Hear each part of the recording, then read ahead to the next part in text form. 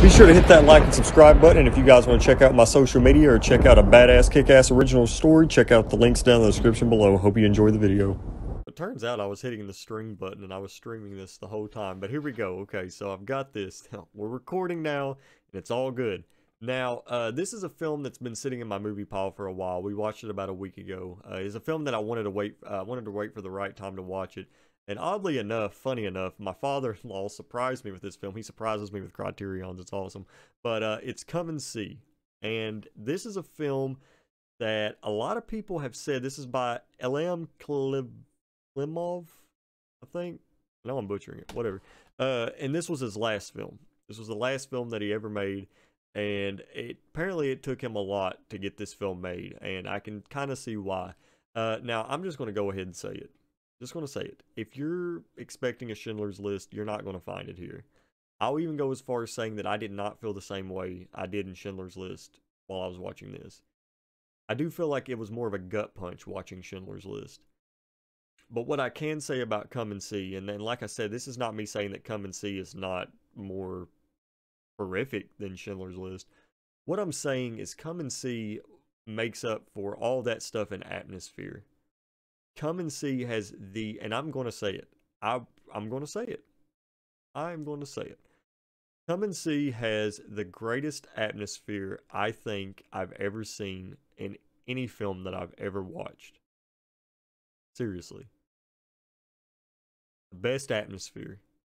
When you're following these characters running just through an open field and they go into this dark forest and then they come out and it's light again. When you watch these early morning scenes of these this gunfire going on in the mist surrounding you know the character and when you're watching these people in the woods and the rain falling down it's just so atmospheric and it really did suck me into the film. It really did. I was amazed watching this. Uh Another thing, and, and this might be somewhat of a warning, uh, if you're not cool with an animal, a real animal getting killed on the screen, you might want to stay clear of this. Because uh, this is this is probably as far as I'm going to get into spoiler territory, and it's not necessarily a spoiler uh, for the film, but they do kill a real cow in this film, um, and it's, you know, I try to make myself feel better about that. Especially, I was trying to make my wife feel better about that. I was like, you know, maybe the cow was already sick, or maybe they were going to just take it to a slaughterhouse anyway. I, I don't know. I, you know what I'm saying? I'm not saying that it's ever okay to kill an animal in a film. Uh, but oddly enough, that scene was very powerful. It was very powerful. Uh, and it it's it's horrible. I'm I'm not to sit here and say that it's not. It really is horrible that they did that they did that. Um, but I guess it was a different time. It's a different style of filmmaking. And uh, what a lot of people don't really get is a lot of these different uh, countries and, and nationalities they have a different style of film. You know, like there's the American style of film, there's the Japanese style of film, the Italian uh, st- uh, style of film, there's French filmmaking, uh, you know, there's there's Russian filmmaking, and I'm not exactly sure if film changed a lot from the Soviet Union era to uh, you know what what we have now. Um, but Tarkovsky is kind of a good example of that. And ever since I finished Tarkovsky, I have wanted to to watch some more Russian cinema.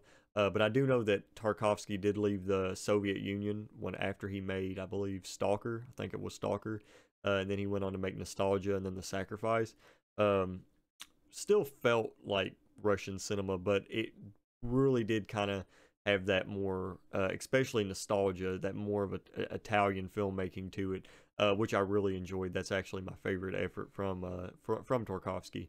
Um, and honestly enough, if you are a fan of Tarkovsky, then I would say that Come and See is worth the watch because Come and See is uh, I, would honestly say it's more fast paced than Tarkovsky because that's one thing that I've noticed with Russian uh, with Russian cinema is it is typically slower than uh, the normal cinema so far from what I've seen. Even the movie, uh, I'm trying to think of what it was called. I think it was Stalingrad, and I actually have that, and that was a Russian film. That was a slow burn too.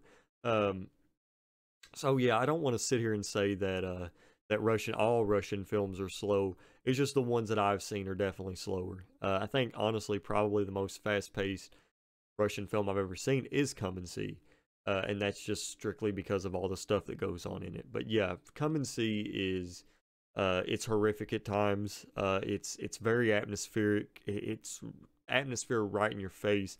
Well acted. I think the kid in this film it was his first ever film that he ever done.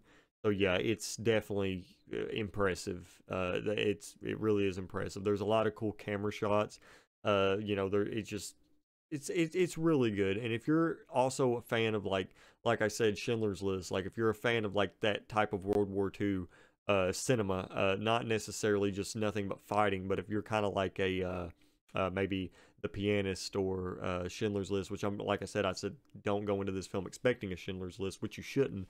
Um, but yeah, it really is uh, that type of film. It's it's definitely more so putting the fighting on the back burner and kind of just showing what war does psychologically to these characters because it's a powerful film. It really is. It's a powerful film, uh, but you can check it out on Criterion.